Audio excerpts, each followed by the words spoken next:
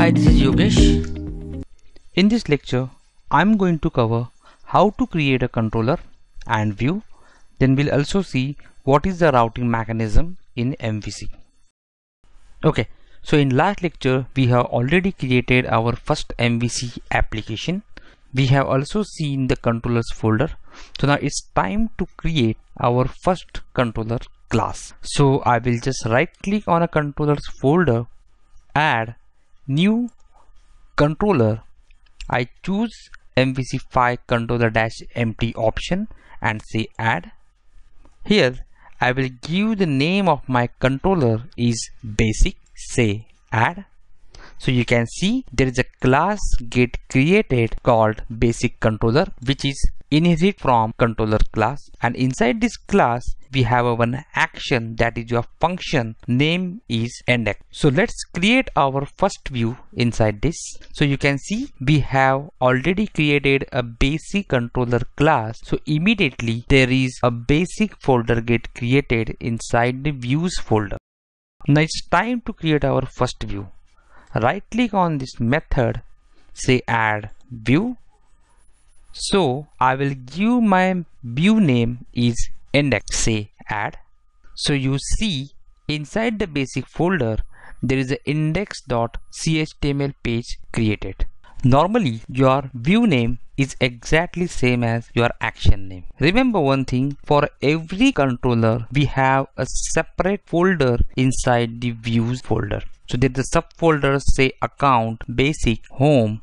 These are the controllers names inside the controllers folder.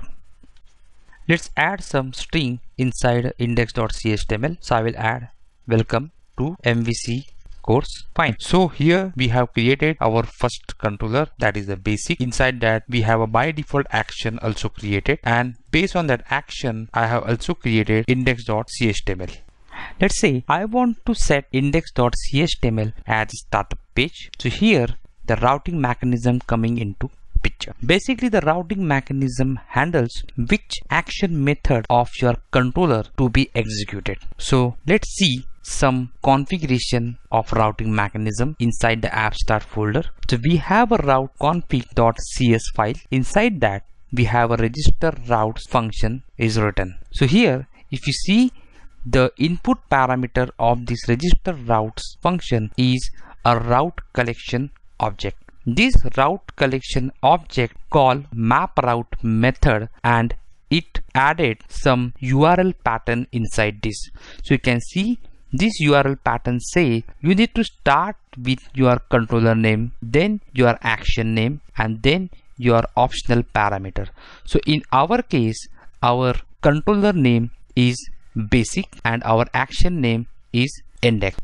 Whenever browser sends the first HTTP request to ASP.NET MVC application, so it's called application start event which is under the global.asax file and you can see this call your register routes function. So inside the register routes function, we have already specified our URL pattern. There is a default URL pattern. So we'll start with the basic as a controller name and the index as a action name. Then Based on that, the instance of a basic controller class get created and this instance call action that is index. After performing the index action, finally index return to view. So in our case, there is index.html.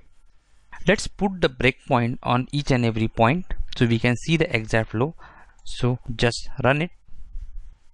So this is the first request. So that's why it's coming inside the application underscore start event then it goes to register routes function under the route config file here the default configuration is made then based on that the instance of a basic controller class get created and it call your action method. And finally this action method render to your index.html page. So here you can see our first page is displayed with data that is a welcome to MVC course. We can also write down like this a basic slash index so this is the default routing configuration